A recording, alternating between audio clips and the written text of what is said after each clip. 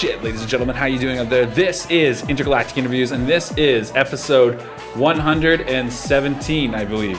117. That's it, yeah. Which makes sense because it's actually 2017. Finally, Happy. New Year. Let's bury that fuck of a year, garbage fire of all time. Ladies and gentlemen, how you doing out there? Did you have a good holidays? We took several weeks off. We hope we didn't lose most of you in the uh, drinking binge that that was. We hope uh, some of you actually probably came out on dry Januaries, as Guyle Clark will tell you in a moment. But um, a lot of you are probably wondering right now about some cool opportunities that we've offered before in the past. Maybe you're not, but I'm trying to set this up. Ladies and gentlemen, this is floathouse.ca. Floathouse.ca, that's the name of our sponsor. And actually, it's almost been a year to the day that they've been our sponsor. That's pretty badass. That's, that's pretty cool that they've uh, stuck with us. and allow us to do our awesome podcast here in this beautiful studio. Very understanding sponsor. yeah, you know, uh, all things considered, they don't have like an ugly factor, so we've been able to do this for a while, which is fine. Uh, guys, if you go to floathouse.ca right now, you can get yourself an excellent deal right now. You can get yourself uh, how much percentage off? Do you remember how much percentage? I believe that's 20% off. 20% off your next float if you enter what promo code Saavedra? I I Podcast. My friend, it's II Podcast. He's so correct. II Podcast is going to get you 20% off your next float. Some of you out there right now are probably wondering, what the fuck is a float? What is this thing that they keep talking about every fucking week for a whole year? 52 episodes, at least, maybe give or take. It's not root beer and ice cream. It's not root beer and ice cream. I wish. Although root beer floats. Mm-mm. Man, Paul Callum has a lot of great ideas, and that's just first of many that I've heard so far. Uh, I have to tell you, if I had a root beer float right after an actual float, that might be combining some of the best of both worlds. I think I don't think I've done that yet. I'm gonna do that next time, Can't you have a straw? like through the door and like into the glass. No, like a floaty glass inside with you. with a straw. inside. Hmm.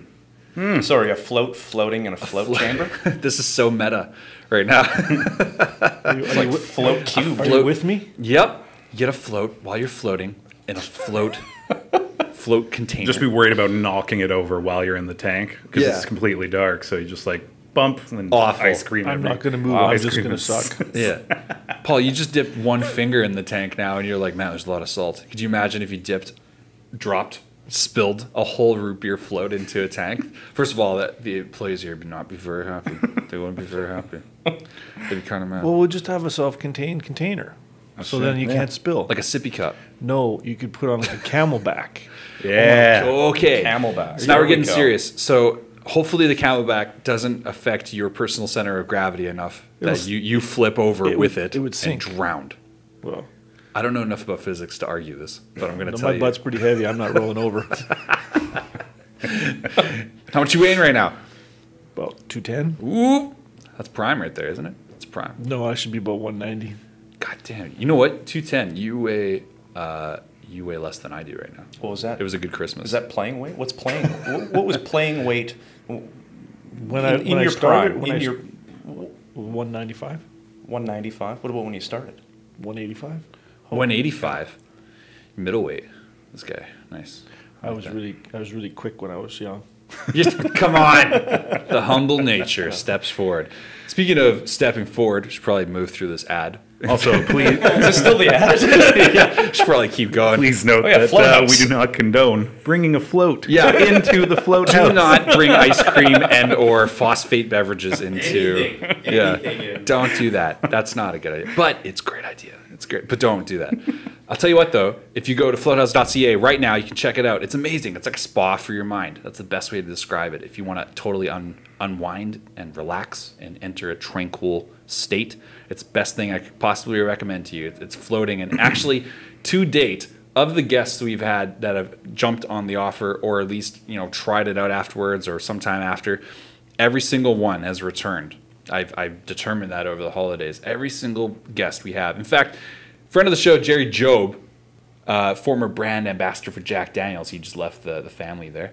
Uh, he he actually he has brought armloads of people every single time since he's been on the show. So if you guys want to check it out, floathouse.ca, we recommend that. Also, this week, as you could possibly see on camera right now, right here, we have a growler from Off the Rail Brewing and these lovely glasses that are like actually custom Off the Rail Brewing glasses too. Uh, I will now d- divert to uh, All right. I don't know if that's the verb I wanted, but Michael right. Saavedra, can you please tell us all about this particular selection? Uh, tonight we are sipping on uh, Gateway Bohemian Lager from Off the Rail Brewing. It's uh, just a fantastic, clean tasting lager. I'm gonna try it right now for the first time. Go ahead. If you would like to visit Off the Rail, uh, visit them in East Vancouver in the Yeast Van District. There Yeast with, uh, Van. Is about that- it's true. That's what they're calling it. That's, That's they're what it's being called right now. Yeast Van. Yeast Van. Uh, there's about seven different breweries you can visit, but please visit Off the Rail first on your journey through That's all right. those different breweries. And if you're listening to this and you want to give them a like, maybe a share, maybe a maybe a yo, let them know you came from the podcast. I'm sure they'd love that. they I'm would, sure they, would definitely love it. Just love uh, that. mention that you're grabbing a beer and you heard about it here. Oh, we and we personally. You Ryan? Oh, look at Wow. Yo, bars, son. bars. Uh, straight up, though, we really appreciate uh, all our sponsors, and that allows us to get to our podcast as our guests have been so patiently waiting. Holy F. Sorry about the business, guys. Gotta get through it. You guys. Okay. Paul's Paul's sitting here looking at me like I lied to him. Yeah. He's like, it's gonna be fun. It's gonna, no, it's gonna be a good That's time. gonna be great. It's, gonna really a good time. Professional. It's it's gonna be Yeah. great for your rep. Um, everything business. We're here. I'm gonna get into it. If it's okay, Paul. I'm gonna I'm gonna introduce you properly. Then you can tell us all your thousand thoughts. It'll be okay. Uh, we're sitting here with a friend of the show, returning to the show, uh, partner over at Clark Woods LLP, uh, a very good friend of ours. Uh, I can't believe you made your return so quickly to the show. Very good timing. We like that. We love that here. Uh, Guyle Clark sitting in front of us, and he's brought along uh, two-time Grey Cup champion, uh, current, current. Uh, I was gonna say active, current, Alive? active, active, active human. yes, I'm gonna say that. Uh, we also have two-time Grey Cup champion Paul McCallum here, and uh, we're very, very grateful to have you both on the show today, ladies and gentlemen. Bring them to the show. Welcome to the show. Thank you. Appreciate Thanks it. for having us. Absolutely. Awesome. Thanks for the beer. Hey, Saavedra's really good at this stuff. What can I say? He's, he's like, he shows up with beer from Off the Rail Brewing. How come they gave you less? Did, did that? Uh, yeah, they didn't top me up. I guess they didn't want to. What's he gonna say? He's enjoying it. I don't think it's going to happen. And if you want more, just grab, reach over, anything. It's all. We're just having a Oh, good hang thank time. you. Um, so first of all, I just want to say thanks for coming to do the show. Uh, I know the holidays were crazy for everyone. I did mention dry January earlier. Are you really on a dry January, Guyle Clark? Yep. I am uh, currently drinking some sort of uh, stone filtered water, or He's or- lying. That's magic water. Is that what it is? That's magic water from the Zaremba brothers. vodka. ah. They don't screw around. They they have, they bless that water out there. I'm pretty ah, sure. Okay. Is this like the uh, Peter Popoff? Uh, dude, dude, I, that's like mineral rocks from uh, you know Machu Picchu or something like that. wasn't bought from uh, some ministry uh, online. Uh, Tell me this right now because you've been here, Gal. You've been here before, I have. but Paul, tell me right now because this is your first time here. When you walk through the doors, isn't it just immediately like, woof, like you just feel the zen, like Well, right away? I'm in the process of opening up a yoga studio. Are so, you? So this is actually. Are you digging the vibes? It's, it's where I'm going. do you like the living wall? We don't have a camera on this, but uh, do you like the living wall? I do. wall? You know what? It's a it's a nice touch. I like behind, just for people that are only listening to audio, there's a wall behind C Mart, and uh, it's it's full of like grass octagons, hexagons. How many sides? One, two, three, four, five, six, six. Hexagon. Hexagon, No, a hexagon is. Is a hexagon not five? sexagon. I don't know. I think it is, isn't it? Okay, it's a living wall. It's a wall. little- Paul, That's all, that's all we need. Paul, we didn't Paul need to go Cal- into. keeping us on track. Pentagon is fine. Pentagram of uh, Pentagon. Yes, there we go. Pentagon. Yeah, uh, but basically, Fact uh, the whole Zen vibe. Yes. That's something you want to capture when you're opening a studio, like a, a yoga studio. absolutely. Where are you opening your studio? Kamloops. In Kamloops. Yes. That's pretty rad. Yeah. You no, it's- is, how, how far along in the process are you? Still dealing with the darn lease, but I've got lots of other things going on. I see. Uh, yeah, no. So we're just finishing up on the the, the lease right now, and Hmm. uh, Uh, you know, I thought I had a, a location, but a little bump in the road. So um, yeah, I should know this week, get it all tied up, and construction. Hopefully, I could get started in the next two weeks. Is it like Cool. is it like uh, regular standard yoga, hot yoga? It's it's actually it's uh, in, it's oxygen yoga and fitness is what it's called. It's Oxygen yoga? What's that? And it's it's different. It's with infrared panels.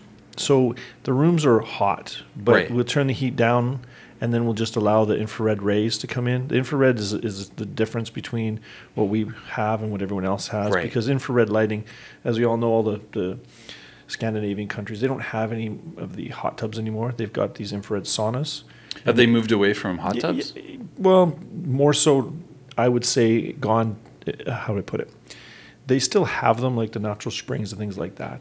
But pe- in people's homes, they have these personalized little boxes, infrared saunas, they call it, because the lights they interact with your, your body chemistry and they they uh, stop don't stop they limit inflammation in your body they help with circulation and with your diet and things like that so from a health perspective it's just like you're not just walking into a hot room and sweating it's actually Yeah. heating you from the inside out as, as well as having the health benefits Cooking you out. Hmm. yeah Like so microwave yoga. yeah, Yo, kind of, that- yeah. so so, so it's, it's a little Well, we stay away from that term, but yeah.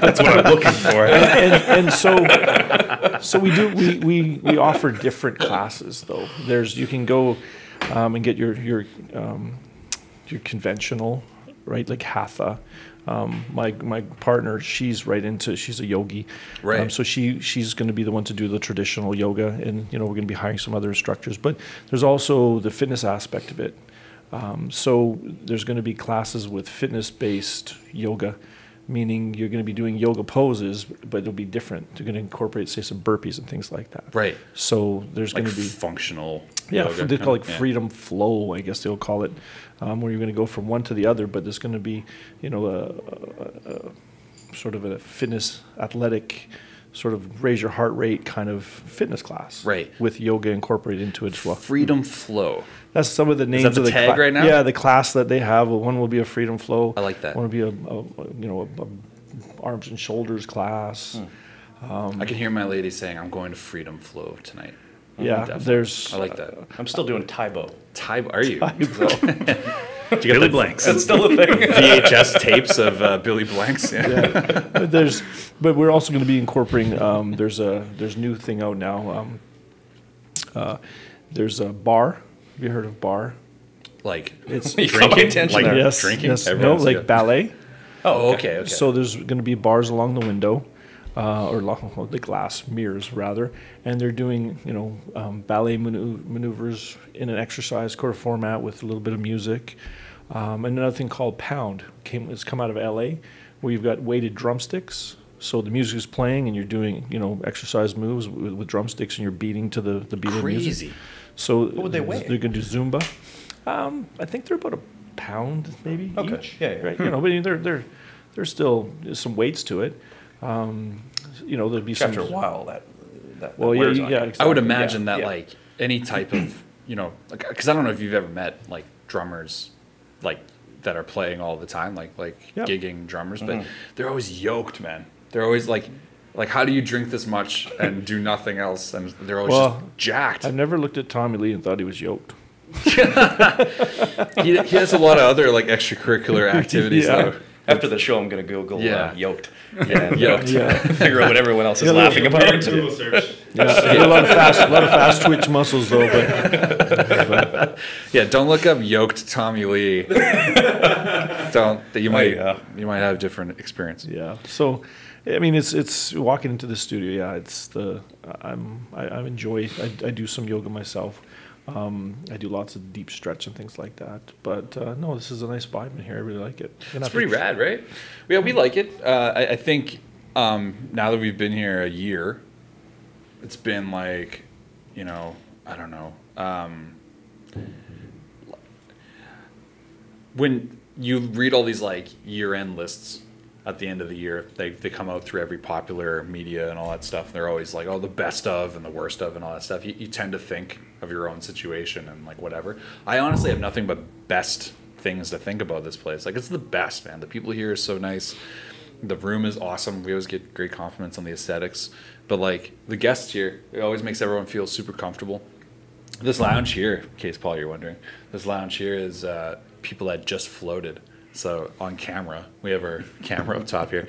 This view over here shows everyone that's just like, oh, they just had a good float. Can they No, actually they- be seen right now on the camera? They, Yeah, they, for they, sure. they can pick that up. Yeah, for sure. So Yeah. basically, this guy's right here. He's coming for a float. Now he's looking for a date. Is that what's happening? Possibly. Well, you never know. Possibly. You never know who you're going to Well, meet. Well, it's Well, like I- I- when you they- come out of here, you're so malleable. Like your your your mind. You, you Is that a is that a really nice way of saying vulnerable? that's a that's an action phrase. You mean the women have no shield up and they're very uh, susceptible to uh, Guys, this is a safe place for every every gender, and I don't appreciate you not identifying that. My inner float. no, reality though is that like you, you come out of the the tank. I was just telling Paul when we were checking out the tanks down the hall that um, some people when they get out of the float they want the light to be a certain light. Like you, you go into a certain like orange or whatever and then you come out and it's like blue or purple or red or whatever. And when you come out it's because like you gotta understand like when you're totally deprived of all your senses for like 90 minutes or more you, when you come out the first things you experience are like pretty spectacular feeling. Like it, it's a it, it affects you. It heightens your senses when you right. come out. so if you come out and and you say you love like the color violet or whatever like this this purple whatever light in the background here if you come out of the tank and you have that it's just I don't know it it, it like adds to your experience and that's what this really is is like spa So experience. I'm just going to take it to another level. So what you're saying is, when you come out of this, your heightened senses. You see good-looking women, you're in trouble. Well, you, you yourself might be malleable. God. She might be like, "Hey, we should move in right now. We should move in right now. What do you think about that?" And then you'd be like, "I'm just having a good day," and she'd be like, "Good enough to let me move in," and then you just you have a good time. You know. Look, Gal, you got a chance. You got to come here now. that's relationships have been made on, on less. I'm sure. That's Use podcast promo code I, that's right. Yeah. Make sure you use podcast promo code Floathouse. Yeah. I I podcast. Yeah. No, the the idea though that like people come here to like totally unwind because like it's every kind of personality and background here. It's like it's like hardworking professionals and like um, sometimes it's just like stay at home parents that just don't have time. hard. Well, they work hard. This guy not on mic. You can't be on mic making killer comments like that because that's really good. Damn it! I wish I had a fifth mic for C-Mart right now.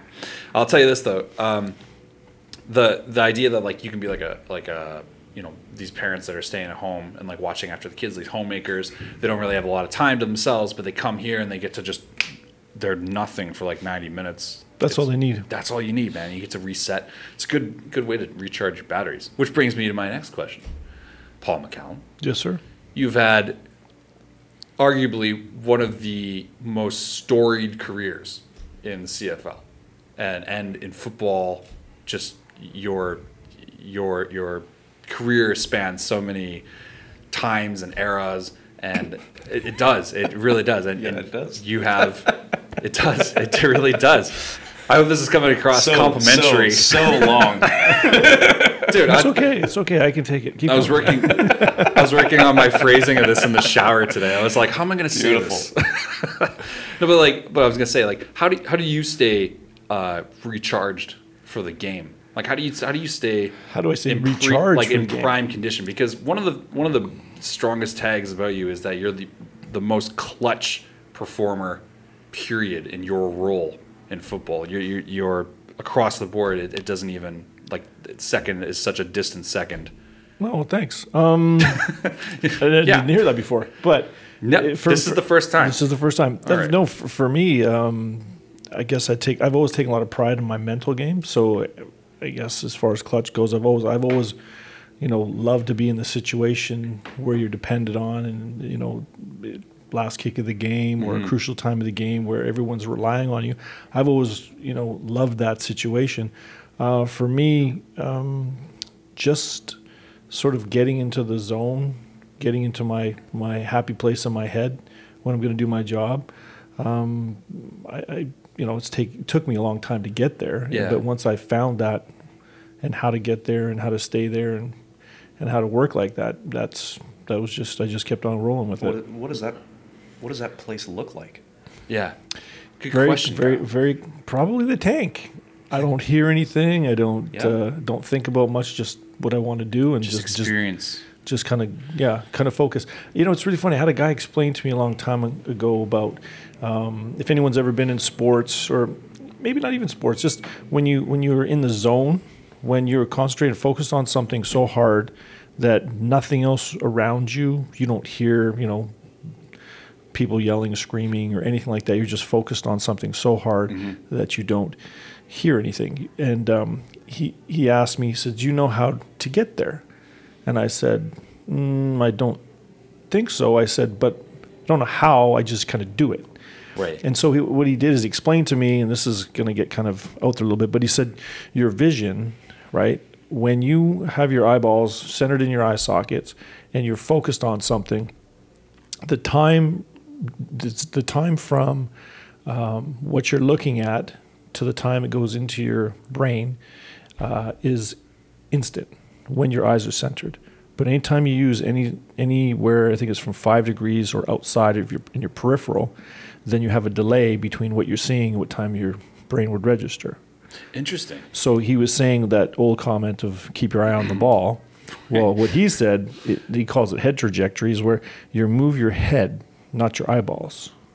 So whatever you want to focus on, if you move your, if you keep try and keep your eyes centered, and you, you keep your head, you move your head to what you want to focus on, right? The time difference between what you're seeing to registering with your brain Right.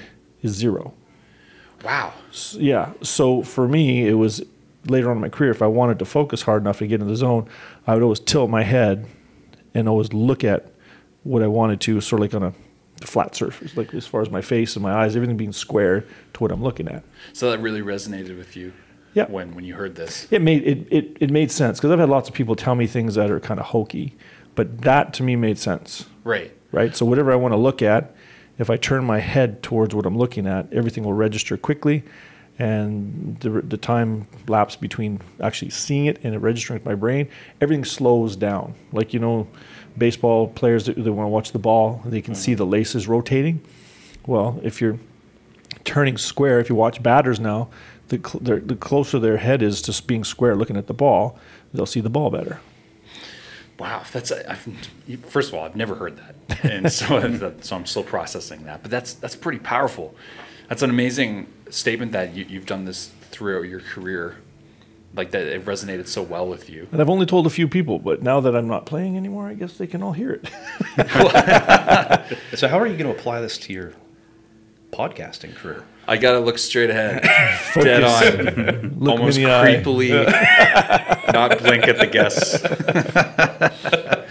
you know, just Yeah. casually, right? Yeah. Uh, I do have actually a follow up question to that because you, you talked, you know, i- pretty pretty good detail there about what keeps you keeps you re- recharged, keeps you like focused, Yeah, mentally focused. right? yeah. Mentally focused. But I would for follow up, I'd like to know what pulls you out of that. What pulls you out? What's something that you're like, I gotta avoid this? Like, is it a song? Like a like kind of song? Is it like a is it a person, a personality type? What do you mean by a miss? I'm not sure what you mean. Like, what would take you? What, like, okay, for me personally, just mm-hmm. to Yep. for example, if I hear a, a certain type of song going into because my background being in production, in music production, if I hear a certain kind of song going into something that I'm supposed to be charged up for, and I hear something say down tempo, slow, whatever, if I hear sad something going into it, it actually does shape how hmm. I'm going into it. So you mean what kind of gets you out Right. of the zone? Right. We, so we use like the word malleable, kind of funny earlier, but like that is kind of a malleable pers- part of my personality. Where like if I hear something going into it, so I have to like be careful of my playlist, sort of so to speak. Of like. well, it's funny. Yeah. Okay, so so for kicking the football for my um, job, it's really ironic, but everybody in the locker room is going crazy before a game. They're listening to heavy metal or they're listening to loud rap or whatever they're doing. Um, and in order for me to get into my mode of what I need to do to get ready, um, I just get inside my head. So I just basically don't listen to whatever is going on around me. Now, um, it, which is it's interesting because you know even at practice they've you know the team's got music going on and everything else so it's it's difficult to answer because I'm always low and I don't I can focus to not get up. Some guys, you know, if we're gonna if we're in a game and uh, we're winning and everything else, my personality is, well, the game's not over. We haven't won. Right. They're jumping around. Yeah, this is gonna be great. This is gonna be great. And I'm like, calm down. The game's not over. Right. Right. So then when the game is over, that's kind of when I let go and okay, you know, we won and I'm happy. Right. Right. But I've always been sort of the even keeled that way. Is that typical to your position? No. Or no? Just personality. There's Just you lots personally. of yeah. There was a. I won't say any names, um, but number twelve for Calgary years ago, he uh, he, Okay, that's not specific. he, uh, he, he kicked a field goal, and I think it was his rookie year. And I and, and you know what? Good on him. He made the kick, and they won the game. And he ran around the field as if he just kicked a winning goal to win the World Cup in soccer, Right. right. And we happened to play him the next year, or sorry, the next week. And I remember saying to him, I said, you know, you know, congratulations, was a nice kick you made there last week and all the rest of it. I said, but um, do you know you got like 13 more weeks to go? right? I mean, you might want to tone it down a little bit. I said, No. because yeah, you you know, it's it's it's not a sprint, right? It's, it's, It's like Paul a week McCallum. one winner. It's like yes. yeah, exactly. And then I also said to him, I said, you're also giving kickers a bad name. I said, because Oh, you're running, you're slow running down. around. Slow down. Yeah, Paul exactly. McCallum, you crushed this kid. He probably looked Oh, up no. to you his whole life. Nope, nope. His, his his comment to me was, "We don't get enough recognition, so when I do good, I'm going to let everybody see it." I was like, Oh, okay. So he's taking like a yeah, he's taking Yeah. a promo route. well, he I can did. s- I can he, see. He, he did. Let's see how that works when you also miss a short one. Yeah. By the way, didn't Yeah, get a name. Yeah, yeah, Yeah. All of a sudden, you want to be in the shadows. He had Yeah. a good. He had a good career, but it wasn't that long. I, oh, I s- I see. Look at this. Number Wow. twelve. Paul McCallum, ladies and gentlemen. Um, that was, I gotta say that the way in football, the way that kickers are, like the way you guys have to perform, the way you're, you're dependent upon, the way that it comes down so many times to these crucial moments with, with kickers and like like kicking for the extra points and the, the extra things like like I have to say, it's almost like a game within the game, right? Because it's like you play football, but you also have this like internal game, which is the kicking game, which no other player is really that adept at. Do you know what I'm saying? It's almost like goaltending in, in any other Yeah, sport, right? It, yeah. it, it, it is. Um, yeah, we're not. Some players, not all, some players don't think that we are players or we're football players or we're athletes just because you know we're not out there, we're not hitting, tackling, and everything else. Um, but you know, it's a part of the game, and um, it, it's it's just the part of the game that I enjoy. Yeah. I mean, when I was a kid, I used to run around. I can catch, I can run, and, and, and do all that sort of stuff. But you know, my talent led me to kicking, and, and I enjoy that aspect of it. Um, and you know, some of the guys who want to make fun of kickers, it's funny because I was, I, I, it's just my personality. I always challenge people. So I say, okay, well, you know, you don't think this is hard. That's all we do. And I say, well, here, you go ahead and do it. Yeah. I can tackle, I can run, I can catch. Can Yeah. you kick? Right? And they're like, oh, well, no, no, but whatever. You're still a pussy, whatever you want to call it, right? So um, I just have fun with it. I said, okay, well, fine then. Then you kick the field goal at the end of the game to win or lose. And they're like, no, I don't want that job.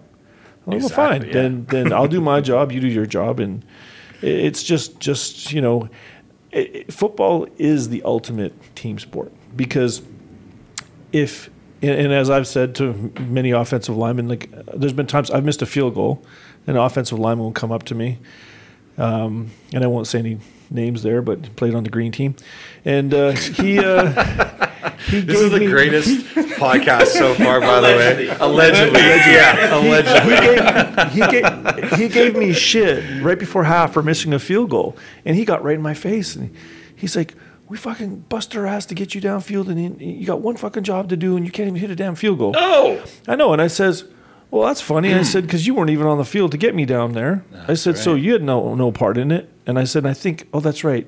You're not starting anymore, so maybe you should shut up, right?" And then I said, "And if the offense does their job, I said." I'm not even on the field, so go away. You know what? The audacity of these of these young bucks. Doesn't McCallum smack That's down? right. No kidding. well, well, and so but, but back to my back to my point though, which is it's a, it's the ultimate team sport, right? The offensive, starting from the center. The center, if his shotgun snap is not good enough, the quarterback doesn't catch it. If the offensive linemen don't block properly, it doesn't matter whether the running back gets the ball or not. Mm-hmm. And if it's a passing play and the offensive linemen don't block block properly, then you're not giving the quarterback time to find an open receiver. And if the receivers aren't running their rights properly or getting open, then the quarterback can't do his job either. It's true. So, I mean, it starts from the very beginning and it keeps on going. So then when it comes to me, it's the same thing. If the center doesn't snap the ball where he's supposed to, mm-hmm. if the holder doesn't catch it and put it down where he's supposed to, I can't do my job. When you put it that way, it's miraculous that any play Any is completed. ever, ever. Well, At that level, that's and, and, and, And the other team is trying to force you to not do all those things you're trying yes, to do. Well, exactly. That's yeah, crazy. And and so for for me, it's um, you know, I enjoyed my part of the job, part of the team to go out and do that. I took a lot of pride in it. Well, I take a lot of pride in it, and um, yeah, it's it's just what I thrived on doing. I mean, there's lots of parts, you know. You have lots of people saying, "Oh, I could kick a 50-yard field goal." Yeah. Well, do you realize you have to get it off in 1.25 seconds from the time it leaves the center's hands? You know, you don't have all day to sit there and no one's trying to come across the line and kill Judge you. the wind. Yeah, exactly. I mean, it's, so I mean, there's lots to it, and um, you know, I take a, a lot of pride in what I've done and accomplished, and um, Absolutely. when it's Paul a- when Paul talks about athleticism of, of kickers, and I have you know, we probably told this story a, dozen times, and it's it's such a small thing, but um, we're out with uh, uh, at, at the pub and uh, uh, with a couple of guys from my hockey team. You're who, using uh, your, your lawyer tone my, right now. my, my lower tone. Sorry. Last time Guyle was on the show, we I noticed it. that I can't when, help it. When Guyle gets really serious, he gets really quiet. He just wants to I let just you know because he gets all deliberations. I get all. you- You're right. I get all deliberations. yeah. get- hold on. no, wait, that's not the word I want to use. Nope. He gets all cross-examining, and he gets. Let me He's uh, like so lower my brow. Yeah, here yes, and, he's uh, like so. In your baritone. opinion, yeah, allegedly. I allegedly. was wondering which story Yeah. you're coming up with. The Sorry, go ahead. The go ahead. punting. Athleticism. Well, that could go either way, but I'm going to say the throwing. So, so we're outside Yeah. uh, in the parking lot. Yeah. We of course, you know, have had a couple of uh, um, uh, beverages. Did you? And uh, I don't remember that part. Dry particularly. January. Yeah, and uh, so so we go downstairs and with a couple of guys that play hockey with, right? And uh, and one of the guys he had he played a bit in the WHL, so good athlete, right? Right, right. And, and he's a he actually really is a good athlete. And uh, so Paul gets uh, some footballs out of his trunk uh, that pretty much at my because I'm pressuring him to, Yeah, and yeah. Uh, he's not like you know this isn't his party trick. And uh, so we uh, You wanted to play catch in the yeah, parking yeah, I lot. want to play. kidding, I want to play catch. Hey, you know, Yeah. just hit a few dingers, you know, Yeah, like yeah. Come on, let me be on the, on the team. Uh, uh, so Paul throws one at me, and okay, catch it, okay, and then you know, kind of throw it back, and uh, and then I said, no, no, throw it at me, throw it at me, and so he throws it at me, Right. with a little more, you know, he's a kicker. Not an athlete, and Oh, uh, yeah, Jesus. this thing hits me so hard in the chest, like knocks the window to me. I almost No. fall over. and I'm like, okay. and so uh, my buddy Rich, he's laughing at me, and he, he, you know, he's the athlete, right? And he's like, uh, oh, you know, basically kind of giving me the gears. Okay, you're a golfer, lawyer, like just go sit down. And I'm like, no, seriously, it was pretty hard. yeah. Throw it back. So Paul says, okay, throw one at Rich now. So he goes, throws one at Rich, and Rich goes up to catch it between his hands. Thing goes right through his hands and hits him on the bridge of the nose and leaves football dimples right in his Looks like face. Marcia Brady. Yeah. Yeah. After that, it's after that, it's looking at him on the field. It's like, oh, yeah, you know what? And I didn't, and I, yeah, and I they're- they're- didn't throw it that hard. Oh, gee. He But listen to this. He didn't even throw it that hard. He says. Come on. Paul. Well, then, yeah, then there was a time you were kicking field goals off the first tee at Vancouver Golf Club.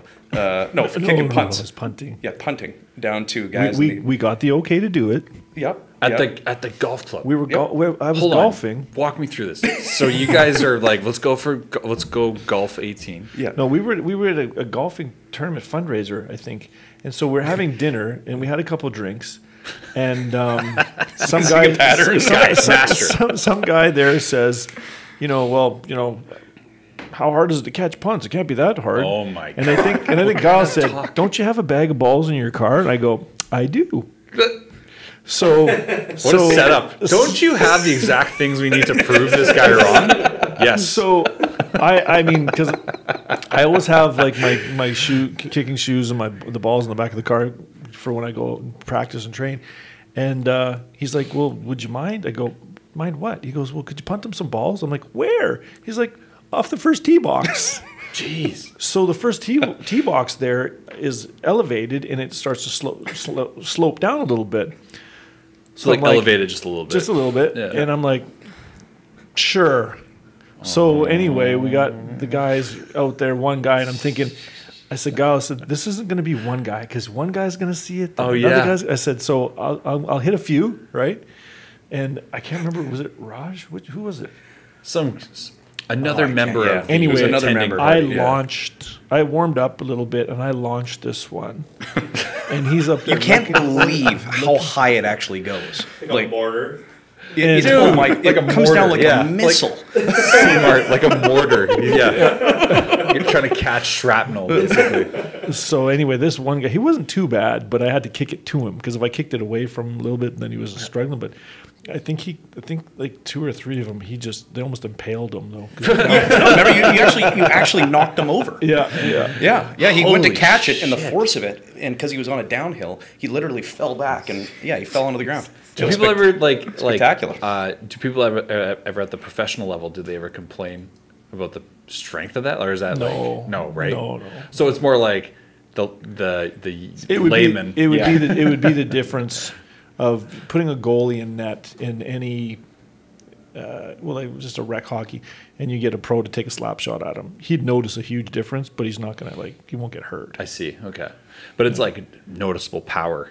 Oh yeah, That's pretty. That's pretty intense. I like the idea that Guyle's like you know it's not just gonna be one guy that's gonna want to try it because a bunch of alphas walking around. Oh, oh, I yeah. got this. Yeah, yeah. I got this. Well, Yeah. all of a sudden, you see there's there's a balcony that, Yeah. that overlooks the Oh, that shit. part of it. Yeah. All of a sudden, it's just full of people. There's just, some guy- just, wa- just doing it, and one of the guys is saying, "Oh, I'm gonna do that. I'm gonna go do Yeah. that." And then all of a sudden, he sees this crowd, and he sees the guy get knocked on his ass, Yeah. and he all of a sudden real quiet. Yeah. They're just gonna go grab a drink. Yeah, Slowly, gonna go grab a drink. slowly fading into the background. yeah, some guy up there that's like, yeah, you know, I just shot a 76 today. I'm feeling pretty good. Fuck it, let's go. I caught, a, I caught a few balls in high school. Yeah, I'm an athlete.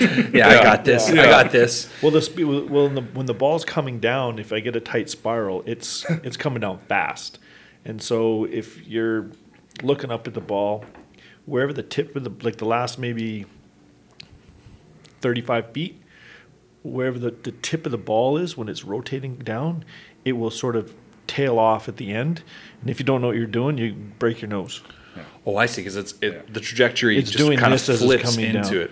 So people listening for audio that don't have audio, the when the ball is like dropping, like right before it drops, it kind of dips almost like 90 degrees. No, no. It, it, it- well, no, not ninety. Just when when it's spinning, the the tips coming down, the spirals start to loosen. Right. Closer to the ground, and wherever the the tip is aiming, when it's closer to the ground, that's where that that's where it's going to go. Hmm. So it doesn't just go straight down, right? Where the it'll it'll veer off to the left or to the right or front or back. Mm-hmm. So if you're under right underneath it, and then the tip aims behind you, right? The ball end up behind you, or Oh, it hits you in the top of the head. So you're standing there underneath thinking it's going to drop. It's not coming straight down. No, I see. Okay. No. Wow. We Especially got, we got that far into that story, and no one said just the tip. no. That's incredible. just I'm the sitting there tip? waiting. I'm like, man, this is low hanging fruit for you boys. This is uh, this is highbrow, highbrow entertainment. I don't know if you know. I, find, I find that super interesting. Like just the the other day when Green Bay was playing the Giants and that Aaron Rodgers like hail mary, like you see that, like he launched that ball like Yeah. a million feet in the air and it was just like the spiral down. It's always weird with hail marys. It seems like when the ball's just like cruising Yep. towards the ground, it's the same effect. Like and the receivers always just blow my mind when they're able to snag it out yeah. of the air and Well, like that one yesterday was just amazing. It was it's so the same. It's sort of the same thing. The defenders, they're defenders for a reason. They're mm-hmm. not great at catching the ball. So, hey, it is what it is. Yep. Some Paul are better. McCallum playing fast and loose on intergalactic Some, interviews. some are better than others. the least We always- popular guy in I the love dressing we, room. we always jo- I, I can say it. I don't care. Um, we as some some guys defen uh, defenders. Um, we had one guy play for I don't know eight nine years, and I think he, he got one interception. I was just a bug him and said, "You got to use the front of your hands, not the back." What, uh, what, so th- uh, this year, kind of going back just a hair to what we were talking about, how was it preparing to come back? You retired. I didn't prepare. I just showed up. Like, like that is okay. well, you, you maybe- said that you're you're serious about that. Maybe we should break this down serious. just for people to understand. Yeah, so, yeah, sorry. So you you signed a one day contract in March of 2016, uh, Yes. and you you essentially signed to retire as a BC Lion because you just played for the the Saskatchewan, Rough Saskatchewan. Riders. Yeah. And Well, I can back it up further. right. Well, that I got oh, cut from BC Okay. before training camp, and then I went home, and then Saskatchewan called me, so I went and played the last. Well, that would have been last six, seven, 17 games. 17 games with Saskatchewan. Sorry, I was supposed to play the whole year, but they cut me at the end of the year because they brought in a young kid because they weren't going to make the playoffs. Right, right, right. So I think I only played what, fifteen games last year. Mm-hmm. So then when I decided to retire, um, I wanted to retire as a Lion. So I called up uh, Wally and said I want to sign. Who's also making his return, right? Well, I wa- He's never going away. then he wait. He'll be here forever. I mean, returning like again as Yeah, like, he's coming back that's as a I mean. coach. Yeah, yes, yeah. he is. Sorry. So so that he went away, um, yeah. so then I signed a one day contract with the Lions to retire at the beginning of the season in March, and then I just have been work because I'm a real estate agent as well. Right. So I was doing that, and um, I actually had been talking to the kicker for the Lions because we're friends, and trying to help him out because he's struggling kicking field goals. And so I had actually said to the Lions, said, you know, he's struggling. You might have to look to get somebody else. You go into the playoffs. You need someone to, you know, make some field goals Right, because right. he was having such a hard time, and he's not a field goal kicker. So defending him, they were asking him to do something that he's just not good at, Right. and not comfortable doing. Um, so anyway, the last regular season game was uh, sorry. The the last two games of the regular season were against Saskatchewan. One was in Saskatchewan, the first one, and then the last one was at home against Saskatchewan. Like Saskatchewan. a home and home. Yeah. Right. So, me playing 12 years in Saskatchewan, and I knew the Lions were um, chartering a plane. I called Wally. I said, Wally, I said, I want to buy a ticket for the, the game, I, or a plane ticket. I said, so I'll pay my own fare. I said, you know, I don't need anything, just a plane ticket. I know enough people, I'll have a place to stay and uh, go to the game. And, Right. Right. I don't want to stay, so I'll fly back with the team. Just reaching out. Yeah. And he's like, sorry, not doing it. I'm like, Jesus. Damn, Wally. After all I've done for you. So I was like, screw it. So I booked a WestJet, flew it on my own, and I was upstairs in the press box. Um, and just before halftime, I was doing an interview um, on their radio show with the premier, Saskatchewan, who I know, Brad Wall. And then I walked outside after the interview, just before halftime, or at halftime, and I ran into the assistant GM. And I just said to him, I said, You're an idiot.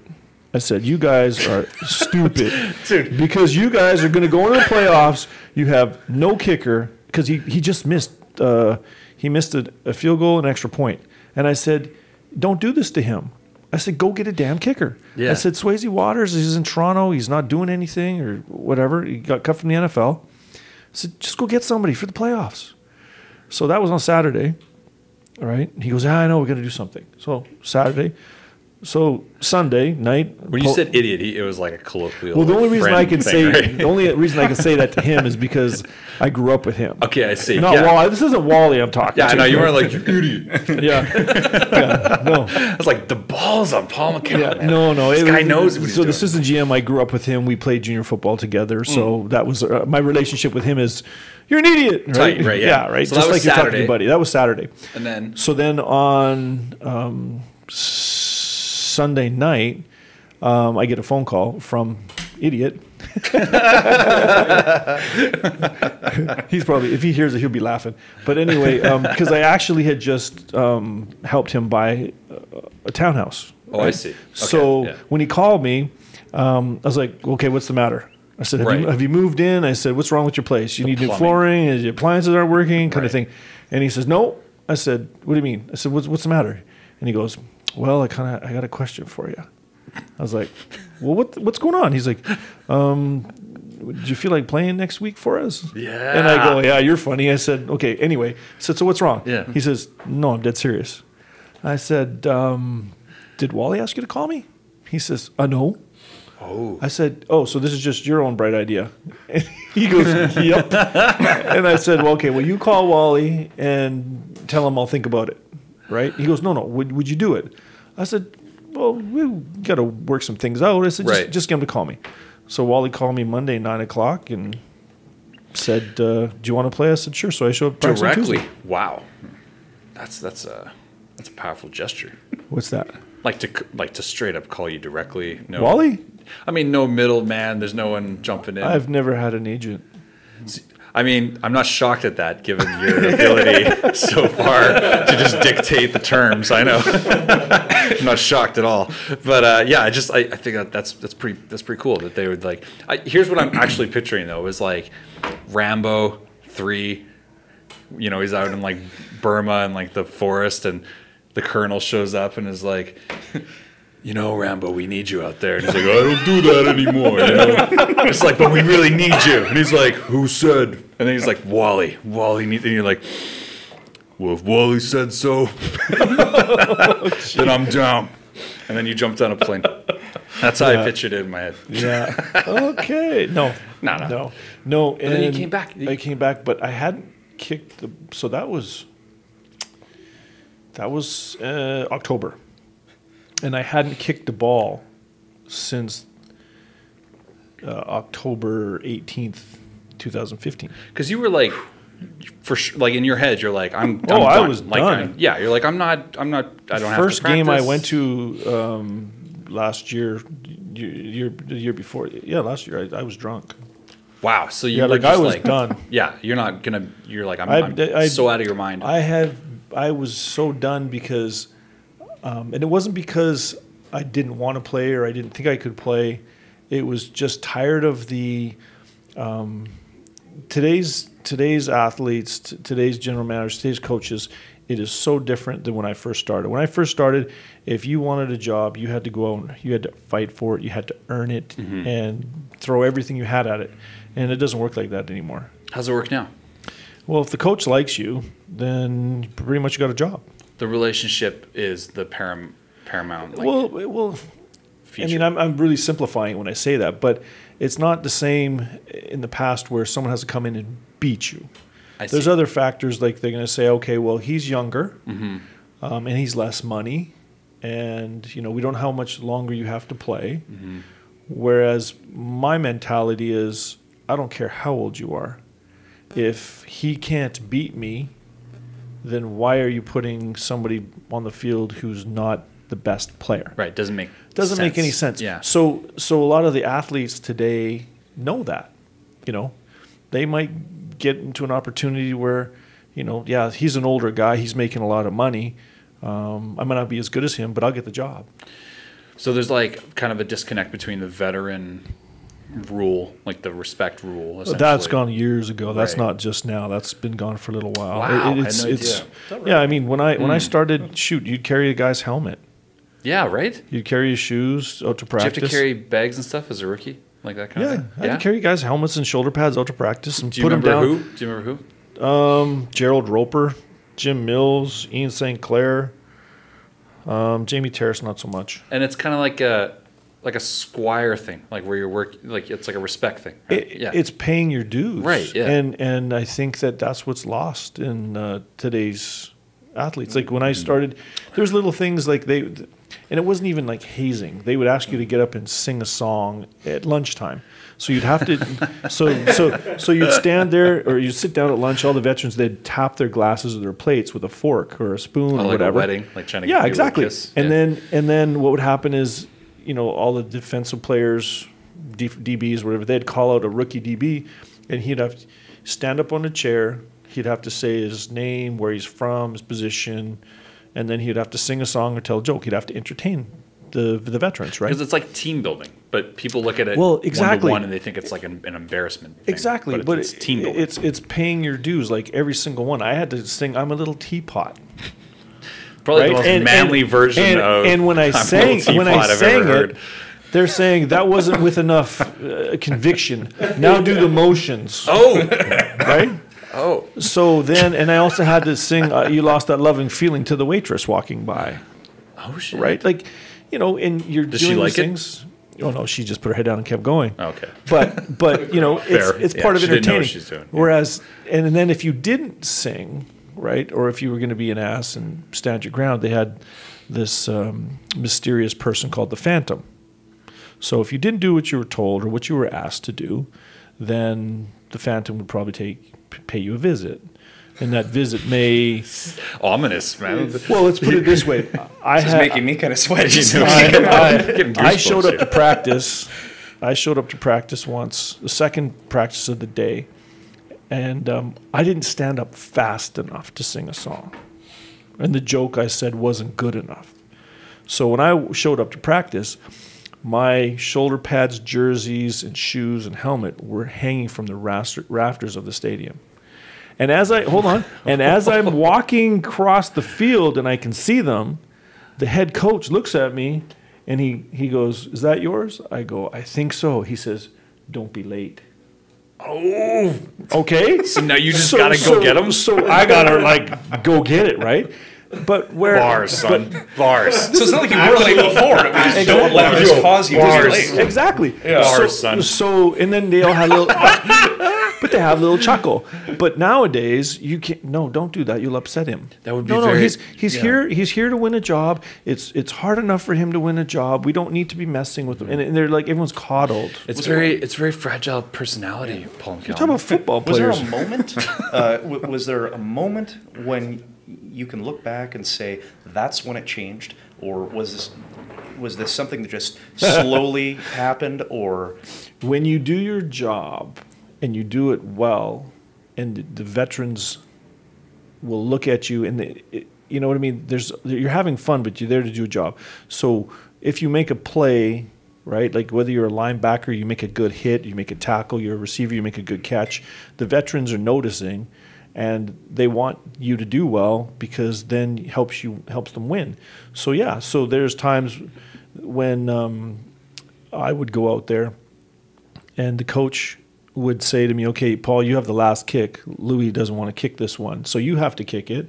But if you miss it, we all run. If you if if you make it, we don't have to run." And so, so, Damn, that- the so, stakes. so anyway, when you go and you make that kick, everyone's happy and everyone likes you, Yeah. right? So you just you So know what's more nerve wracking, kicking a game-winning field goal, or Nah, a the field goal practice- to make it so, practice with your so that teammates. teammates don't have to Practice run. teammates. Practice with Because you have to be with them a lot longer, I think. Yeah. Amazing. That's Yeah. that's that's powerful. I, you know, there there's so many stories we can get into with, with you, Paul. There's like, so many I can't tell you. I, I'm sure of it, right? I'm pretty sure the one we're we're looking for because we we know where he played. We got to talk about the XFL just We a little bit because about there's the new Oh. ESPN 30 for 30 uh, documentary coming out next month on Oh, the that's XFL. right. We do have to give credit to Ryan Williams, friend of the show, comedian extraordinary. We love this guy. He is, uh, I think he played collegiate level, uh, and he he's just a huge fan of football. When we told him you're going to be on the show, he was pretty stoked, and so he he was like, make sure you ask him about XFL and because there's a 30 for 30 coming out. He wanted to know. Actually, you, you go ahead. You ask him this the because you have the same question. I think the the same setup. Did I? Uh, it's what a- exactly was his setup? He says uh, because of ESPN airing its 30 for 30, he tried to set it up very casually. he says you played in its lone season of the XFL. So, what was your most memorable moment about the XFL? Oh, there's a bunch. Okay, if just your, On the field or off the field? I was in Vegas. I mean, Oh, either. oh, I mean, the Las Vegas thing is like you, you had like Okay. one of the re- most recent. okay, like, all right. I funny, got, I got a couple. I got a couple. The posse? Is that Don't what it play was? around. no, Palm the County. Outlaws. Okay. Don't play around. So, actually, cool story. How I got involved was I went to play in NFL Europe. My head coach for NFL Europe ended up being the head coach for the uh, Las Vegas Outlaws, and I wasn't paying much attention. Had no idea that it was even going on. And when I found out, it had already the draft had happened, and players and you know training camp is pretty close to coming around the corner.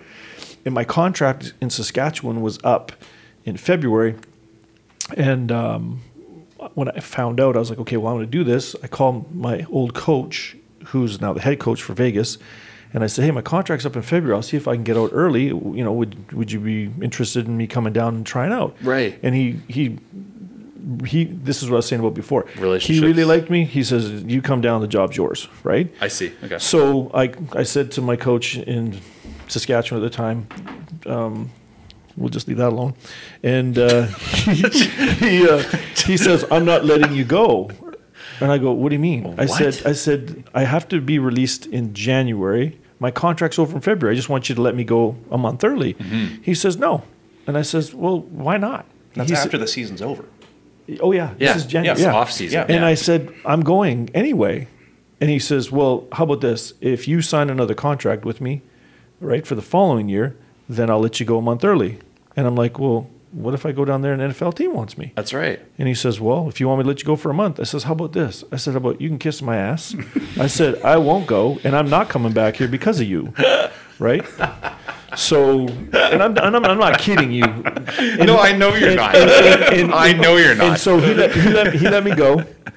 And anyway, I go down there, and uh, training camp was interesting. We stayed at a, a casino where, you know, all our food was taken care of. You would you would go to bed at night and you'd see a lady there at the slot machines. You get up in the morning and the same lady would be the same slot machines. Oh my god. Oh, it was Marathon. It was, it was different, yeah. And anyway, um, training camp was interesting. Vince McMahon showed up with. Um, yes. Big wrestling fans here. Just so you know. Just so you know. just see how this how this is going to get wrapped into a wrestling story. yeah, the nectar always this. comes back. Dick Ebersol from NBC Yeah. and McMahon, they showed up, and there was a I can't remember how many teams right now. Was there eight, four and four, four east, four west? Do you remember how many teams, Vidru? There was what is there eight? I think so. Eight, four east, four west. So we had yeah, that's right, because we had four teams that were um, in Vegas, and the other four teams were in uh, Atlanta, I believe, or I think so. Anyway, so he McMahon and Ebersol they came to Vegas, and all the teams. We went to this big, huge conference room, and he gets up there and starts talking about how he wants to not necessarily take over for the NFL, but he wants to be a different brand and Alternative. yeah, Right. Yeah. and um, he said, you know, this whole- all the rules that they have in the NFL. He says, I want this to be fun. And he literally says, he goes, so if you guys want to go out and have fun with the cheerleaders, go ahead. I don't care. He goes, do what you want to do. He Did he "Do- say that in the speech? He said that in the speech, right? Yes. He said, you know, So good. just- he goes, you guys do whatever you want to do. He said, when you see a camera on you, he said, say what you want to say. He says, I'll get a five second delay. He said, I'll cut it out if I don't like it. Right? Just just have fun. He said, there's no rules, no boundaries. Just go and have fun. I've got Monday Night Raw money. Yeah. You do whatever you want. So, so anyway, um, they made a bunch of hokey rule changes to football, and uh, I thought this is terrible. It's a joke, like the dash for the The, the dash for the, ball. dash for the ball. scramble. You're not wrong. Like, that was So- so, Sorry, silly. what, what was that? You're like, well, first of all, No forty yard coin dash toss. for to, to, to whoever No got coin the- toss. no, no, no. It's just whoever got them. First of all, it's killing many jobs right away. Like, like for Well, it was the first. No, no, the first. The first game, it wasn't our game, but I, th- I don't know if it was New York or who it was. The two guys that go race for the ball, the one guy jumped to get the ball, put his arm out. The other guy behind him jumped on him and separated his shoulder oh my god. I remember that. So Play they so so so the then they made- debut. so then they made a rule that you could carry an extra guy just in case your dash guy got hurt. Your dash guy. Amazing. This is Because I remember watching like the debut game because Oh I was God. going to watch because it was like, oh yeah, That was Jim Ross was- and Jerry the King Lawler Yeah, I calling the watched. game, and I was like, Did they actually? Yeah, yeah. That was that was absurd. that was our game. Our game. JR is great at like calling games. Like he's a he's Sooners Oak- fan, yeah, right? Like he used to Oklahoma. be Oklahoma Yeah. Sooners play by play. But like the King had no idea what he was doing, and when that guy got his arms separated, they were just like, "Oh." It's like silence, and you're like, well, "It looks like he's a little bit hurt." And the King's like, "Ah, CXFL," and you're like, "Oh, Yeah, it's XFL. What do you expect? Like, I expect no injuries immediately. Like, no. So we we had was there like they they said every game there's a hundred thousand dollars in fireworks. oh my god, just hemorrhaging money. had- How did they go broke? yeah, how? Oh, I, I got those details too. Those that was unbelievable. They they they lost fifty two million dollars that first year. The, 52 million bucks. But mind you, the, the, the opening game uh, was us against New York, New Jersey. Our ratings were apparently just through the roof. yeah, it was Oh, yeah. ridiculous. It was How many people were there? Well, it was Sam Boyd Stadium. I don't know, sold out mm, 30 maybe. I have no idea. But um, but every player got it was hilarious. Every player we got four tickets, I think. And I remember um, some of the guys were sending me text messages. Hey, do you need all your tickets? I'm like, well, I don't know yet. And they're like because scalpers are paying seven hundred dollars for a ticket.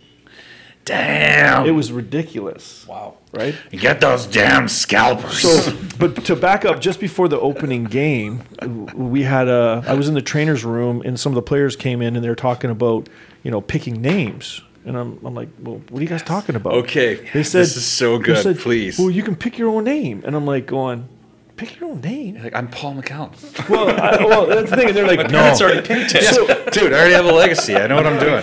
Fuck. Yeah. 420 no scope McCallum. XX. they had well, Rod Smart. He had he hate me. Okay. We were looking at photos of this before you showed up today, and we were talking about. Okay, was it? What's the story? How's Spencer? How's the story? Well, no, because he Legendary. wanted to have "They Hate Me" on the back, but that didn't fit on the back of his jersey, so it just turned into "He Hate." Me. He hate me. Which is like a meme. That was his now. comment about it when they asked him. He was like, "No, it was supposed to be "They Hate Me," and then it didn't fit, so it's just "He Hate Me." And then, He like, hate me. Most like I think that has the most notoriety for like names on the back. Well, I 'cause it was talked- like, what is We, that? we talked about that in the locker room because it when it took off, I was like, I said, uh, Rod, I said you might want to like patent it and get the rights for that. And so he called his agent and he goes, Ah, Vince screwed me. Because as soon as you signed the contract, anything that had to do with that, he had Oh, he- rights to all of it. He owns all your likeness. Well, he, yeah, everything. Yeah. To the point where at the end of the year, um, I had uh, um asked, which is BC Lions past president, Bob Ackles, who um, was the president of the Las Vegas team. Right. I had said to him, I said, you know, I want my, I'll buy my uniform or I want my uniform. And he's like, well, no, no, where, where Vince says the uniforms, players can't have them, can't have nothing. So, What? So I had said, um, I'll pay for it. I Yeah. said, nope. So, so no, I'm not kidding. crazy. So what ended up happening was they, you had, they, he would only allow you to buy the helmet, um, and you had to pay, give a receipt, and they had bailiffs outside of the locker room To make sure you didn't to make jack sure you like didn't a, take like, you like take a knee pad. I kid you not. I walked out and there's a bailiff there, and you had to sh- take your helmet. You had to show him your receipt. Did, did you actually choose a name? I no, I just had McCallum. Oh, you did. Yeah, no, I didn't. I you know, didn't want to classy. Doesn't Yeah. have to go. He hate me. Yeah, no, there was, uh, yeah, but when they were in, when we were in the trainers room, they had me down with, you know, for the first first extra point, they wanted me to walk out with a cigarette, lit cigarette in my mouth. No, get out of town. they This is, this is not true. They wanted true? they wanted laces out on the back of my jersey. No, they didn't. like you know from the Like replacements, dumb, right? Like oh yeah, replacements. Yeah, so they were like, just come on, man, just just for the extra point, go out there with a cigarette in your mouth and just butt it out. And I'm like, nah, Hold on. Did you smoke at the time? no. So they wanted you to take up smoking and also visually Oh, visually promote it. this is this story excels Could you- oh, no, beyond I swear to anything I God. could have imagined. But could you imagine? Were you thinking to yourself how outrageous this whole scenario was? Yeah. Oh, yeah, like, because- what did I get myself into? Well, the, because you got to think at the back of my mind, I'm thinking to myself, this is another opportunity for NFL scouts to see you play, right? So I'm thinking, I'm not going out with their freaking smoking, man, right? Like this is ridiculous. no kidding. you should Dude, ask them to play "Real American" and come out to I Hulk am Hogan's a theme real song as you're walking. American. Because uh, what's for it- the is rights. it Maddox, Tommy Maddox, who played for L.A. He ended up going to Pittsburgh and replacing Kordell Stewart and getting like million dollar contracts. That he that's where he came from was the XFL. So he like he actually transitioned from that that Yeah. point. So it's funny that like now we look at the XFL and we're like, what a clusterfuck. But like there were people that like Oh no, tran- there was really there was players. I played with um, David Govea, and he was the center for the the Denver Broncos Mm-hmm. for a long time. Came and played with us, and uh, I hung out with him quite a bit. And he, like that was his swan song. He said, "I wanted my kids to see me play," um, and. Uh, no, you know what? I apologize. I got that wrong. It wasn't David Govea. It was uh, that was Kurt Govea. Um, I'm drawing, drawing a blank right now. But anyway, he was a, a center and short snapper for um, Longtime center. for the the, the Broncos. Yeah. and uh, so yeah, he actually went back after the XFL and played a couple more years there. what was the quality of football like? It was good actually. There- Like there was good players. they kept changing the rules, and at the end of the year, when they started hammering it out and getting rid of the wrestling commentators, Yep. and, and and actually, actually, sort The of king didn't need to be there. Sort of giving Absolutely. football back to football people is it was kind of too little, too late, Yeah. right? And then what happened was um, I had gotten a call from uh, the head coach in the offseason who said, you know, if you want to come back, we're allowed to protect so many players to come back. Um, but I just need to know that you can get out of your contract in Canada if, if that's where you go. So I called up same coach, Canada, and said, you know, I'm thinking about going back. Is it all right if I signed a one year deal? He says, you're not, no, you're not going back and forth. So I called my coach in the XFL and he says, well, don't worry. I'll get you the open work visa. I'll go down to Vegas, live there. I can work in the off season, the marketing and sales and promotions and whatever public affairs, and um, then play. And the money was supposed to double. So I, the football money would have doubled. I would have made I would have made way more money down there than it was in Canada. So I'm like, okay, whatever. I'm not I'm not coming back. So I'm driving out to my friend's cabin in Saskatchewan where I was living at the time, and um, I get a phone call. He says, "Did you hear the XL, XFL folded?" I'm like, "That's not funny." That's not funny. Yeah, don't call me with these funny, fake jokes. so I pick up the phone and I call my coach and I go, "What's going on?" He Yeah. says that uh, NBC, you know, they're they're they're pulling out and they don't want to lose any more money. But the other southern channels like TNT and some of the other southern networks that carry the wrestling, Right. those type of people really wanted to have the football. So th- what happened is those networks they wanted the sort of the lion's share in advertising Right. that NBC had, and Vince McMahon said not a chance. Yeah. And then they said, well, if we're not doing that, we're pulling your uh, wrestling. And he says, well, why would you do that? There's no more XFL, and he just folded the whole thing. Yeah. Yeah, that makes sense because I, I can't see Vince giving into Turner for No. anything. No. So especially he's like, oh, you're down in your luck for a second. Oh, I'll offer you this hand and kick you when you get up, kind of thing. Yeah. That, uh, you know what? I I had uh, I would be remiss if we didn't ask some of these uh, listener questions that came in. Sure. Uh, you be uh, as uh, as detailed or, I- or I can handle it. however you want. Um, this one here is. Uh, um, you came out of retirement, as we discussed earlier. Uh, you came out of retirement in the season finale against the Saskatchewan Roughriders, and you went four for four in your return, which is pretty spectacular. Uh, you connected on all your extra points. What was the return to BC Place like for you? Uh, it, it was it was really good. It was one of those things where I wasn't sure the kind of reception I was going to get. I, I knew I was going to get booed. I, I knew that wasn't going to happen, but it was um, it was really cool. Um, when I first walked out onto the field and I could hear the crowd get louder, I was saying to myself, "Okay, don't get any louder. Don't get any louder. Don't get any louder," because it was a bit emotional. Because you're feeling it. Yeah, exactly. Um, and uh, yeah, no, it was it was a nice, it was a warm feeling. I, I really, I'm, I'm really glad that it, uh, I got the opportunity to do that. That's so cool. That's an amazing feeling. The return. You know, you, you often hear athletes talk about the return back, like how how that feels, like after, especially after injury or something like that, a long, long time away from seeing the I've been very. I've been very fortunate with that aspect of it because when I left Saskatchewan after 11 years, that was sort of uh, a, a bad situation that I left where it was the club that was forcing me out when I didn't want to leave. Mm-hmm. So then when I got to go back last year, it was kind of my, a nice way to say that, you know what, I didn't want to leave and here this proves it because I did come back. right. And then you know when when all the bad stuff happened when I got released here and how it turned out, um, it was it was kind of nice that you know whatever water under the bridge and Right. I come back and yeah. You were, you were right though in your principles, which was really must have been. well, a good that's usually that's just how I am. If, if Yeah. I'm not I'm not gonna. It wasn't right what was said and how it was said, so I just wanted to set the record straight, and I did that. So, right. you yeah. came back and crushed it for four on your return. That must have been like, hey, I told you all along. You know, that must have, that must have felt good. Uh, it did. It did. Um, yeah, it, it wasn't a doubt for me. Um, and it wasn't that when when when BC got rid of me, it wasn't so much they got rid of me because I wasn't capable. Mm-hmm. It was they got rid of me because they wanted to go with two young guys. No, I, I of course, yeah, and we did talk about that. Uh, Yeah. Like, uh, of course, it was never a question of capability. It's Yeah. more like the business behind Exactly, the, and then just the, numbers yeah, and stuff. and, yeah. and so just to set that straight. So of course, um, no, I, I recognize that. yeah. I, I just, I just want like it must still feel good though to feel like, hey, I still came back and crushed exactly the same way I said I was going Yeah, to. yeah, yeah. Um, Okay, uh, another question here, for, listener question. Uh, This one's for me, is that right? This one's for Guyle Clark. It's a legal question. uh, Paul McCallum, uh, you currently have the longest field goal in CFL history. What is the longest field goal you have ever hit in practice? Do you know? 76 yards. 76 yards. Fuck. The fact that you just immediately were like, yeah, 76 yards.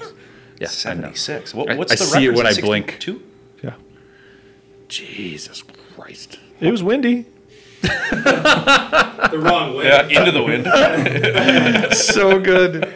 Uh, okay, um, let's see this. Um, let's see. Uh, your favorite Grey Cup moment, if you have, if you have one. Um, t- uh,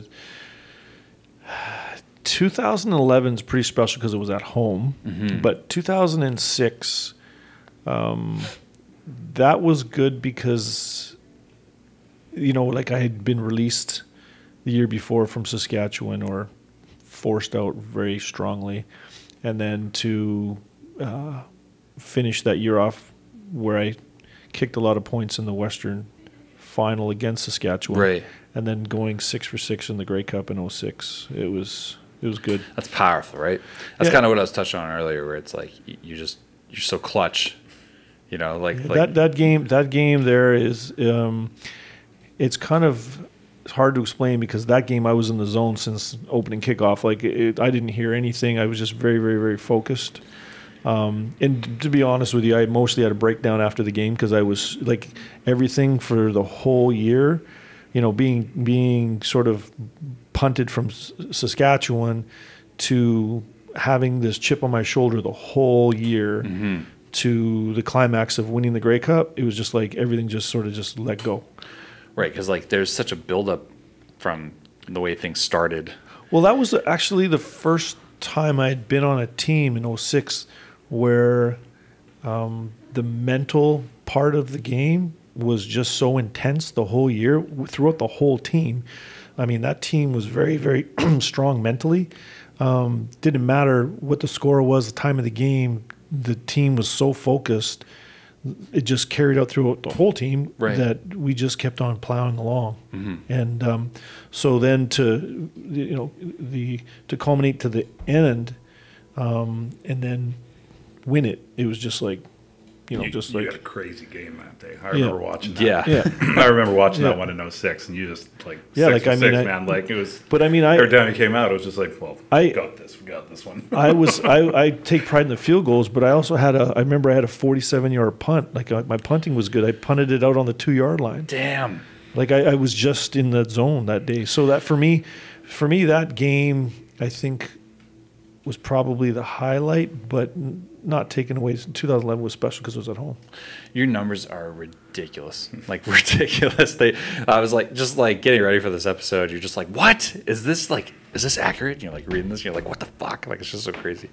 Uh I guess uh final listener question. Um this one says if you play in the 2017 season, you would overtake the Lions legend as the oldest player to play in the CFL. Is that motivation? Is that true? Is that true actually? Is that it's a listener question. I honestly so- don't I don't know. So what? Is this motivation? to play it? 47. Yeah. I don't know if Lui was 46 or 45 when he finished, but um, to me, I've never been, and ever since I started, because when I started, I was always behind Lui. Then when I went to Saskatchewan, I was behind Dave Ridgway, and I've always said the same thing. For me, it's it's never, ever, ever been about being better than anyone else. It's always about me. So I have to be the best I can be. So records, you know, longevity. The one record that I, and I'll say this, the one record that I think every kicker wants to attain is to have a perfect season where you don't miss. So you'd have the highest field goal percentage. Um, and I, I, I think I attained that. Um, the rules books don't say that because they changed after I kicked 30, 30 was the heck 30, 30, 30 in a row? 32 i can't remember. 30 32 in a row. And then what happened was two years later um, um, calgary kicker kicked 29 and had it blocked. But the ball never crossed the line of scrimmage. So they say oh that's not counted as a miss. Nah.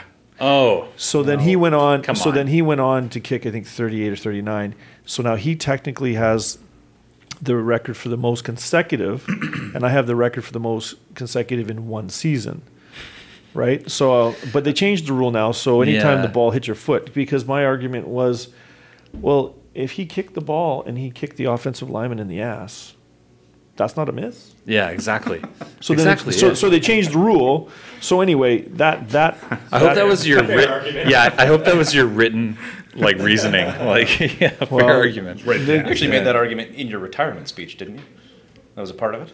Yeah, no, no, no. To set the record No, because straight. some people be like, oh, uh, Hi, I'm retired today. Also, some people be like, oh, you're a bad loser. But no, I mean, that's just, to me, it's just common sense. It's a rule now, but I hear so, you. Yeah. so, so, um, yeah, I mean, for, for me to come back, it wouldn't be so much of, uh, being the oldest player. To me, I would only want to come back because I would want to beat that record Mm-hmm. of being able to not miss. That's so inspiring. I gotta tell you, man. That's like that's the type of like that's like the type of like aspirations you hear about, you know, from like rookies and stuff like that. Like you're such a you're such a veteran to hear you say that. That's like such a such a powerful statement. I think Well, that's really amazing. I, I, I mean, if you, whatever you're doing, whether you know, like what you're doing here today, or what what Guyle's is a lawyer. I mean, if you're not setting your goals high, then what are you doing? Right? great. And and so for Great me. I, I want to be the best at what I do.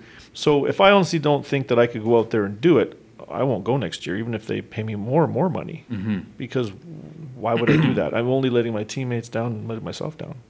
Well, I have to say, we all are pretty goddamn impressed with it. like the stories today have been so amazing.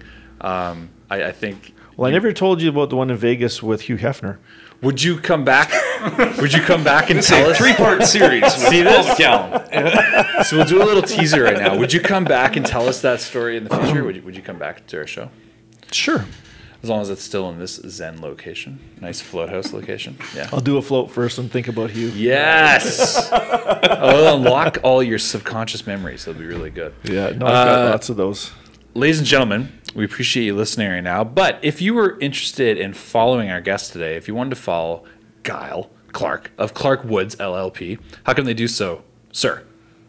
Well, I think you just got to go to uh, clarkwoods.ca. Yep. If you uh, are injured or anyone you know is injured in a motor vehicle accident uh, or a slip and fall uh, Yep. or product liability or uh, uh, horrific uh, blimp incident or anything of that nature, uh, then uh, certainly give us a shout and, uh, and obviously we'd be uh, happy to help out. I'm so happy you have your own thing going on right now, your own firm. your We own can company. talk about it. I, we can talk about I can about really it. I be- can I tag can really you. be there. You I can tag me. I can tag you in this. I love that you're your own man now. I'm so proud of you, brother. Well, that was the breaking point.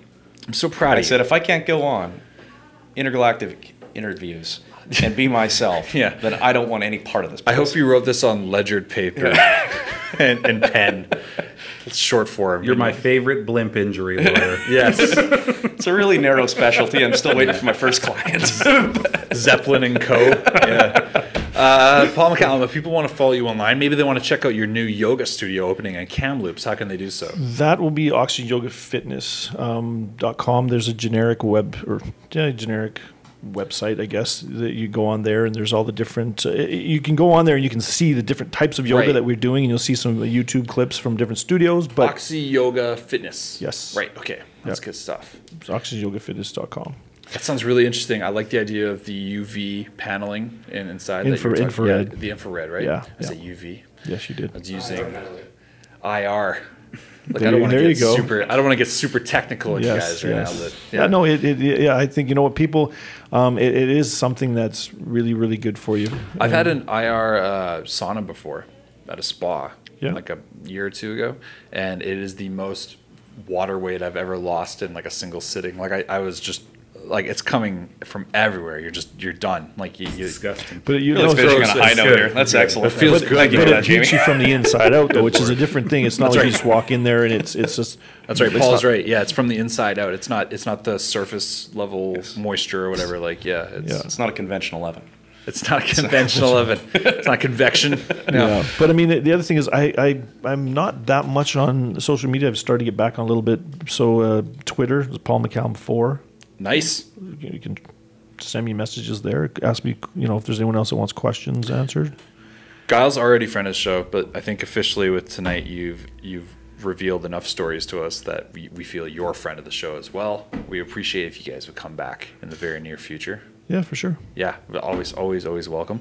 Um, ladies and gentlemen, uh, if you want to follow our sponsors, as well as we mentioned earlier, you can make sure you go to floathouse.ca. Check out, uh, you, you can get floats for 20% off. Just use our podcast promo code, which is, I I podcast. God damn right, it's II Podcast. And if you get that, it's 20% off. Fucking rights. and uh, make sure you go check out offtherailbrewing.com. Uh, I think that's the website. Yeah. Yep. And uh, OTR Brewing on uh, Instagram. And That's right. You check it out. and all that stuff. give them a like, uh, give them a shout, say, hey, I came Drink from their beer. Just Yeah. go to the liquor store. It's there. It's easy to get. And uh, what was the name of this stuff we were drinking today? Gateway Bohemian Lager. Nice. Did you like it today, Paul McCallum? I did actually. I actually like. I really liked it. It was really nice. It's the, the Bohemian Lager, the stout. Bohemian Lager. Stout. It's not a stout. Stout. It's not a stout. I don't know enough. It's a lager. I'm a whiskey guy. I don't know enough about beer to say it, but I'll say I like this, which says a lot, I think. Um, other than that, uh, we appreciate you guys tuning in. Uh, make sure you subscribe to us on Intergalactic Interviews on Instagram. Uh, you can also look us up on iTunes, Intergalactic Interviews, and we're also on YouTube. Intergalactic Interviews. You can also look us up at II Podcast. It's very easy. It's the same name as our podcast promo code. Super easy to find us. Super easy to subscribe. What were you saying? What? Just simple. just fucking simple, simple. ladies and gentlemen. Anyway, uh, we appreciate this. One thing I have to do right before we end is we're opening a new segment, but I can't do it until we get the first question going, and that'll make more sense in a second here. But uh, I would like to start a chain of questions that begin with this week's guest asking next week's guest a question, a generic, general question, and then that guest will ask the next week's guest questions. But it all starts here. So you guys are the genesis of this question segment. So I don't even have a name for it yet. who It are makes we no asking? sense. I, I kind of don't even want to tell you the next week's guest because then that would have that would kind of Poison the poison the water, the well. Well, then that's going to be interesting. I have to come up with a generic question for someone I don't know anything about. Sure. Do you have one, Guyle? Do you have one to think of? Oh, I do. Oh, you do. Why don't you give us a question? Go No, ahead. no, no. I'm, gonna- I'm going to dish over to Paul here. Well, Paul needs time to think. He, he's just heard about this, so maybe you can give us your question. In the I need to meantime. focus. Give us your question. Get in, get in the zone. Get That's inside right. your own head. Uh, Got- I'll tell Guyle you what, Clark, a question for next week's guest, if you have it. Very straightforward. Okay. Um, and, and this comes from another podcast, in fact. Okay. Uh, yeah. Well, this should be good that our genesis is from another. Yes, no, podcast. absolutely. Yeah. It's, it, it's it's from uh, a podcast called Desert Island Discs, which is like the longest running podcast, in, or uh, pardon me, radio show in uh, in Britain. This thing goes back to the 40s. Desert Island And Discs. It's it's How old are you anyway? He's an old soul, you Guyle bring Clark. back, really? Yeah. and uh, a- and so anyhow, the premise of the show is that you basically get lost on a on a desert island and you get to bring with you uh, seven discs, and at the end of it, you can keep one of them. And so my question to next week's uh, guest would be: You can take one album, Desert Island, Which- the rest of your life. What's it going to be? That's good. I like that. Oh, I'm jumping over the back of that one. Okay. All Oh, right. Count. Here we go. So you got a disc. What actor or actress are you taking with you? Ooh, nice jump on. Nice. Wow. Way to Very use. good. Way to use. There we go. that was. That was good. I wasn't going to say what kind of food would you take. so- No, no, I like it. I like it. That was good. Good questions, though. There we go. I'll pass these questions on via tablet, playing for them, I guess, next week, and uh, we'll do it like that. Other than that, we will see you all next week when we have our guest, uh, Casey Joe Los from uh, The Peak, Vancouver. She's, Ah. a, she's a DJ, uh, on-air personality, I think is the word they would use. But that being said, we'll see you guys all next week. Make sure you subscribe, share, love us, like, bye. Yay.